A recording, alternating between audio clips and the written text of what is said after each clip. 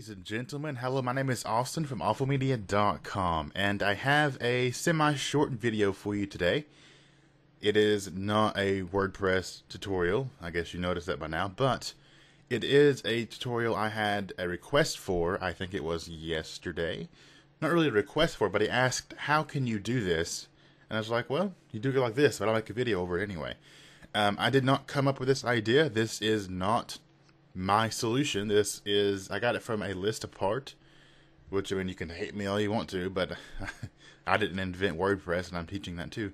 So um, they have the idea that to create a an iframe video that's going to have the exact same aspect ratio, you have to get the math correct. And the math's not that difficult, but it's just a it's just something you have to kind of figure out, right? Well not figure out, but you have, to, you have to you have to know it before you just go in and start doing it. But why can't you just set the iframe to be full width of the container? You see, I have a div class with a video container, and then I have the iframe inside of that. Why can I not just set the the iframe to be 100% of the container, and problem solved? Uh, well, just because you can't. The iframe has a default width and a default height. If you set a width the height will still be default.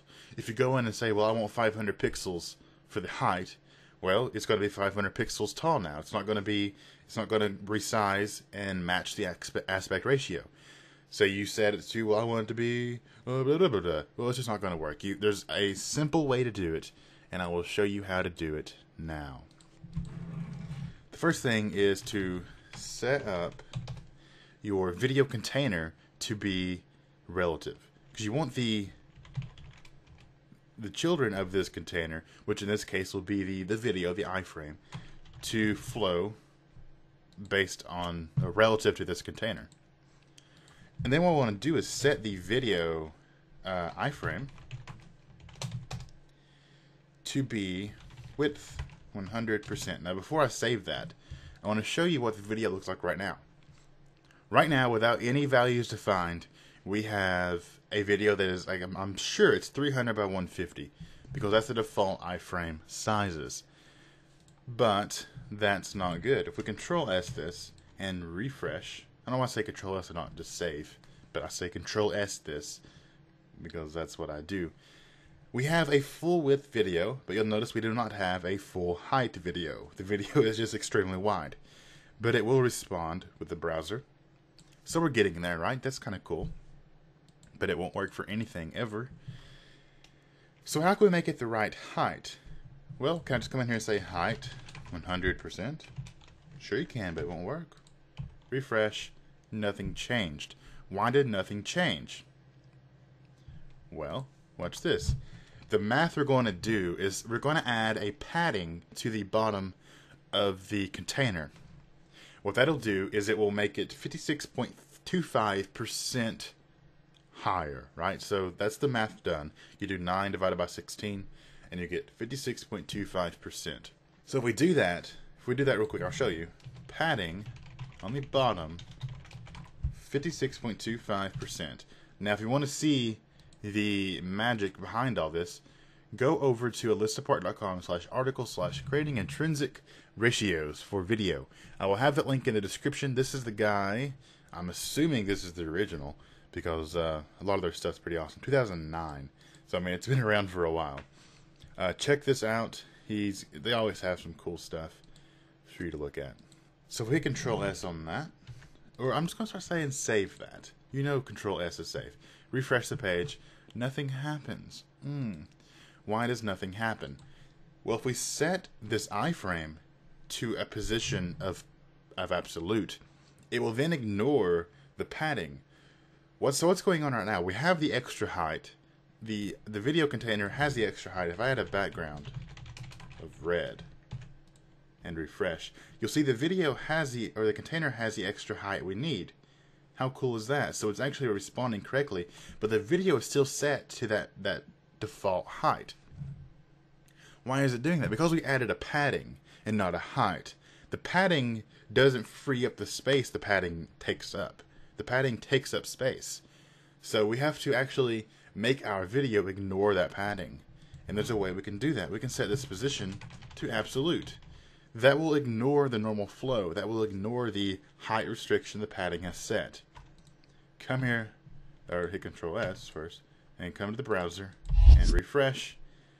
And bingo, we have it. We have it.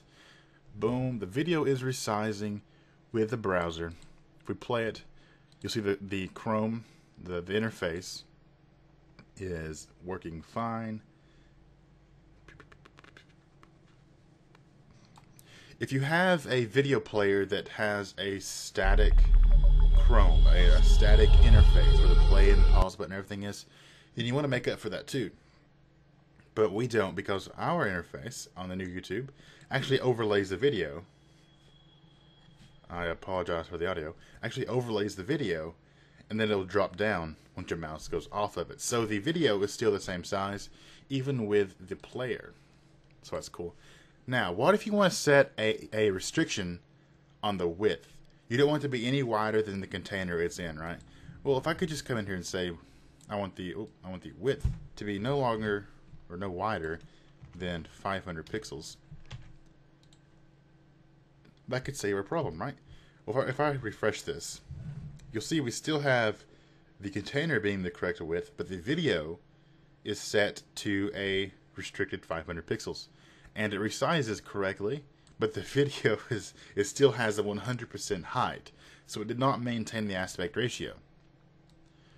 Well, there's one solution that again, not my solution, I'm just showing you guys how to do it, would be to add a container around this. Are you serious? Okay, so add a container around the div video container. I'll give this class just an, another container.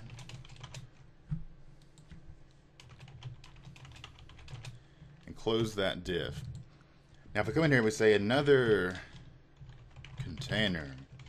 Now yours, you may not have to add another container because you will have like your content container. So, I mean, I don't though because I don't have any content on this website. It's just a, it's just a video. So on another container, we're going to add a width. Let's add a max width. Max width of 500 pixels. I want to remove this from that there. Control S. Now, are you ready for this? Refresh. Boom, 500 pixels and the correct height. If we go down, oops, if we misclick, open up, come on. Okay. If we go down to the video, look at that.